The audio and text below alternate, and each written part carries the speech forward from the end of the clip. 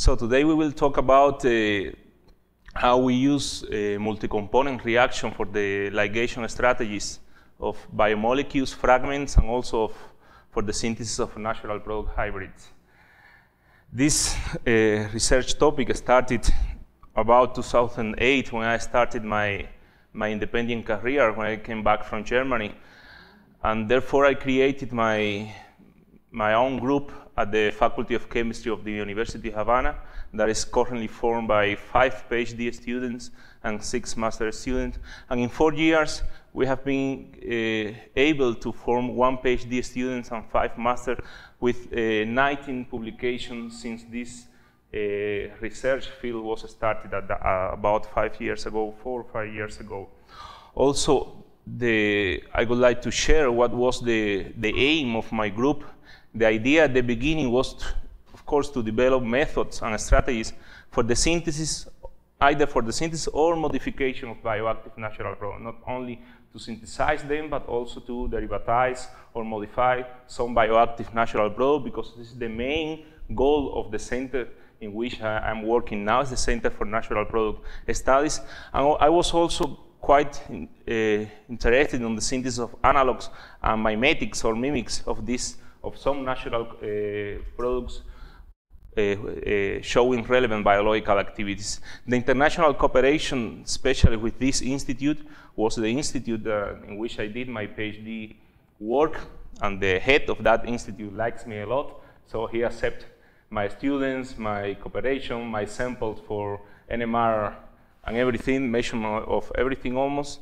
Also to the Canadian Institute of Cancer Research, and more recently with this department that I hope that the cooperation with this department increases substantially in the next few years. So the topic that I'm going to talk about is on the utilization of multi-component reaction for the synthesis, derivatization, and especially today you will hear about the ligation of natural products and biomolecular fragments. This is uh, today's main topic, which is the development of multi-component reaction was one of our ideas at the beginning of my independent career, the, uh, the development of multi-component reaction as general ligation procedures. I will talk about what is a ligation procedure and so on. When you think about ligation, not many people realize what is a real ligation. Ligation is a conjugation approach. But conjugation, the biochemists, they don't like too much to use the, the, term conjugation for small molecules.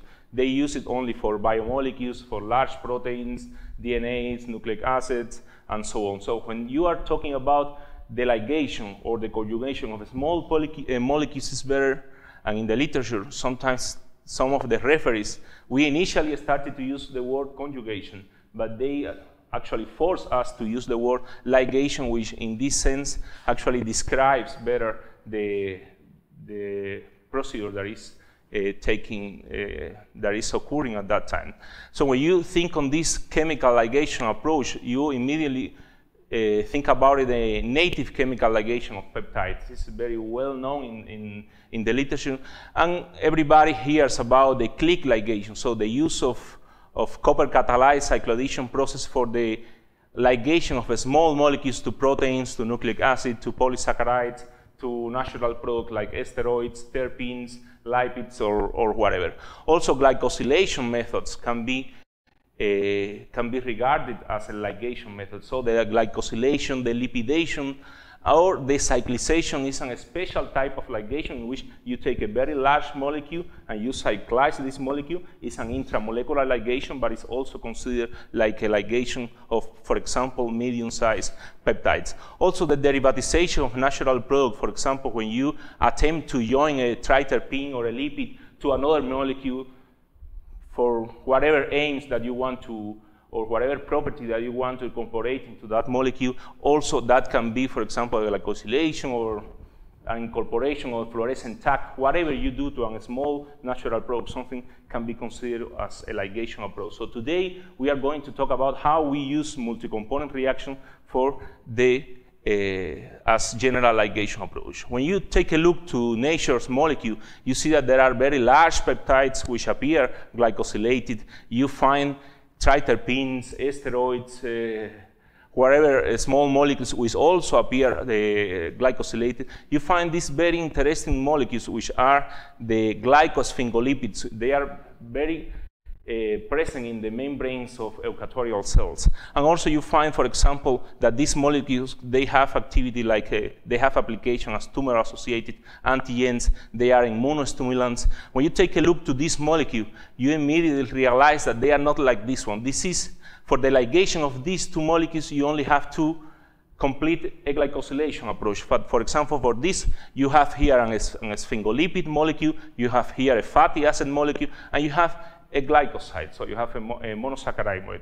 So when we, at the beginning, when everybody uh, was at this stage of your career where you have to think what you are going to do, there is something new, something different that your supervisor told you to do, then we immediately realized that we could use multi-component reaction not for the unification of two molecular fragments, but for the incorporation of three, four, or five molecular fragments in one pot, which is the concept, the real concept of multi-component reaction. You also see a natural product hybrids, which are, for example, cyclic. This is an example of a polyketide natural product, which is uh, joined together in a cyclized scaffold to a polypeptidic scaffold. In this case, you have here a lipidic change with a peptidic change. And also, chemists have uh, introduced the concept of, of, biomole of uh, biomolecular hybrids for the synthesis of this type of compounds in which you join the chemical properties of a very lipophilic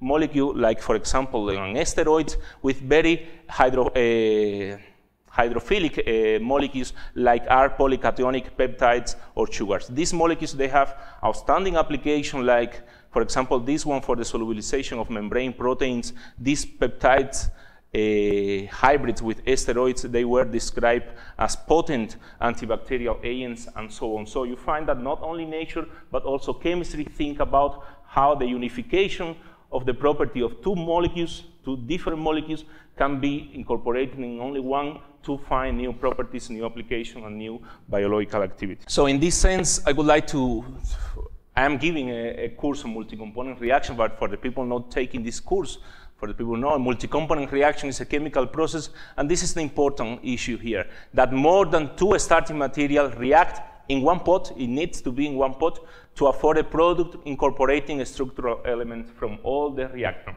So if a catalyst takes place in a reaction but is not incorporated at the end, it's, it's just a catalyst. It's not, it's not a multi-component process. So regardless if you see too many components in one reaction, but at the end, structural fragments of only two of them are incorporated in one molecule, it's not a multi-component reaction. We are going to focus only on multi-component reaction. And when you take a look to the literature, you find that more than 70% of these reactions are only for heterocycle and medicinal chemistry. Uh, I don't like so much this chemistry, uh, whatever I don't, I don't claim about it. But when you take it, there is also some application in natural product synthesis and diversity oriented. synthesis. But in these areas of research, there is almost nothing done with the use of multi-component reactions. So in the catalyst and catalyst, in the in catalysis and the discovery of new catalysts, there is no application of multi-component reaction, only one or two articles. Also in the field of supramolecular chemistry and conjugation chemistry. So we Indeed, we decided to focus in one of these areas now with Marcio. You will see in the future that we are focusing on, on the discovery of new catalysts, also using multi-component reaction, and to use this concept. So what happens if we can use a multi-component reaction to ligate four different or three different molecular fragments to obtain a single molecule in only one step. And this was the idea behind uh, our laboratorium, behind the creation of our group. Today I will use, I will give examples only of two multi-component reactions. They are isocyanide-based multi-component reaction, we will hear about they, how they can be used as ligation methods. This is the Passerini reaction, is the condensation of a carbonyl, carboxylic acid, and an isocyanide to form this alpha acyloxycarboxamide. This is called a depsipeptide. And this Ugi reaction is a four-component reaction. In this case, with addition of a primary amine, this is the mechanism, I will not talk about it, just to give rise to this uh, substituted dipeptide motif. So we will talk how we will apply application of this, we will apply this reaction to the modification of peptides and every type of natural product, including amide bonds or ester bonds, which can be obtained by this type of multi-component reaction. These are the reviews. The students attending the course are now specialists on this reaction. And initially, we will talk about glycosphingolipids. Glycosphingolipids are a special class of these uh, amphipathic molecules. They have uh, lipidic tails, especially two li lipidic tails. They are very large. So I am unable to, to draw all of them in the, in the slides. And they have mono, di, or trisaccharides models. So we really, when you, all chemists, all synthetic chemistry, teach students to learn about this connection. You think in a molecule and immediately you think how I can approach this molecule. You think that there is a glycosylation step here, joining, and then by a lactam formation here, you can join these two lipidic tails.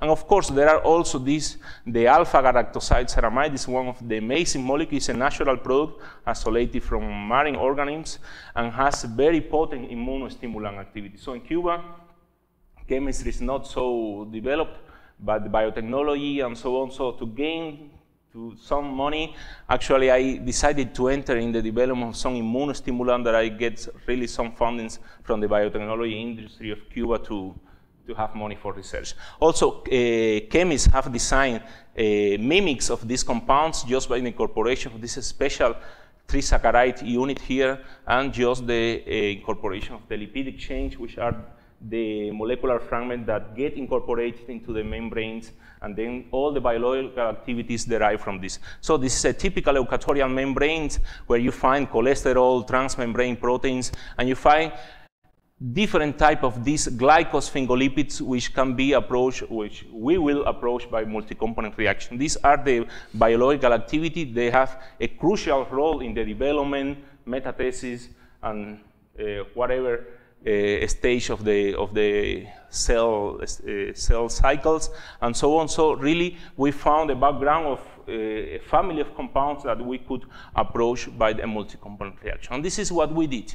Initially, we prepare isocyanides. These compounds, in a small way, they are commercial available, but they can be easily prepared from the primary amines. It's just a formylation followed by dehydration, fatty acids, they are commercial available, and sphingosine. This natural product has to be prepared either by a catalytic uh, approach or you can uh, buy it also, though it's expensive. So we get it from as a gift from a chemical industry in Germany. And then we can, in a multi-component approach, always using formaldehydes, you will see that we try to keep this as much as possible because the, this multi-component reaction that is, we are using is not stereoselective. So we are running away from all this generation of diastereomers, separation, uh, racemic resolution, all these steps just by using formaldehydes, which is, gets incorporated here. From here to now, you will see that all chemical bonds that are being formed will be highlighted in red. So you can follow really the type of chemical process that is going,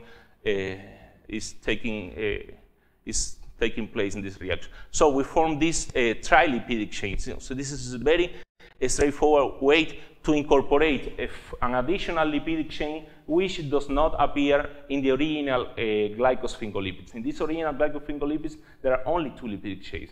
You cannot incorporate by traditional method a further uh, lipidic chain, only by the use of the concept of a multi-component reaction in which you incorporate three, four fragments in only one step into a unique molecule. So with the use of this glycosyl receptor, in this approach, the formation of the